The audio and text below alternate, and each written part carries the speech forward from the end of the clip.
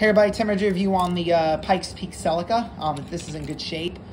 It's got it's black. It's got a Hot Wheels logo on the sides. 38. It's pretty nice. Um, it has PR5 wheels. Um, overall looks good. Um, it's got a orange spoiler in the back. It's got an orange interior. Um, it's pretty nice. Pretty nice looking car. Um, it says Hot Wheels, like I said right here, 38. Um, they made another variation of this too. They made one with a black spoiler, not a, oh, an orange spoiler. So that's pretty interesting, actually, um, that they made that one. They made one with a black spoiler. I don't know why they did that. I'm not really sure. I think that one also had a black base.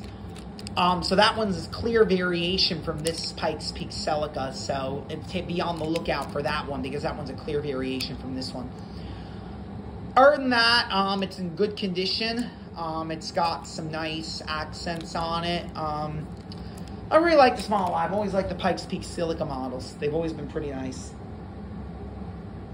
And that's going to be my review today for the Pikes Peak Celica in black. Thank you. Have a good day.